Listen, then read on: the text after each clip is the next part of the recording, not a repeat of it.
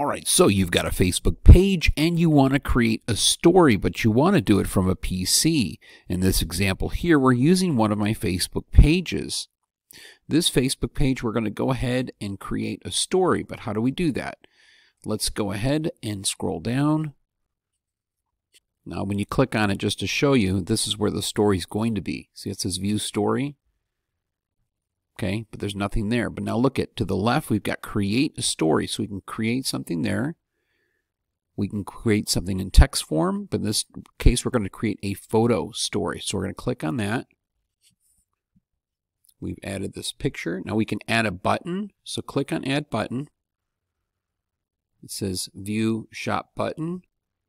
And they'll connect by swiping up. Or they can add a web link button. So we're going to do that as a See More. Or you can do shop now, book now. Let's just keep the see more and we enter the link. Let's paste that here. And let's see, we're going to add a text here.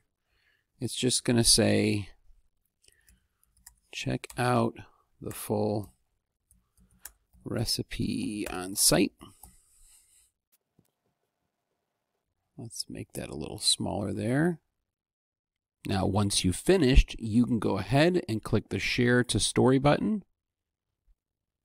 that you'll see right here. Your Share to Story button will be in the far left corner here. We'll click on that. And you can see check out the full recipe on site. We can click See More.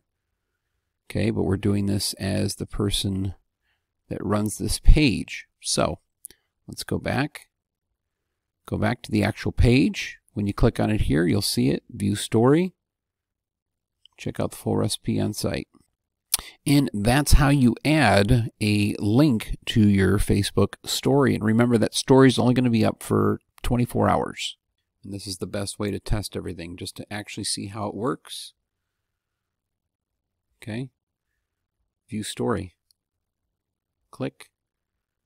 Click the see more. Redirected. Where? To the website and that's what you want. So that's the easiest way that you can do it there to show you how to do it on a PC. Thanks for watching, and we'll see you in the next one.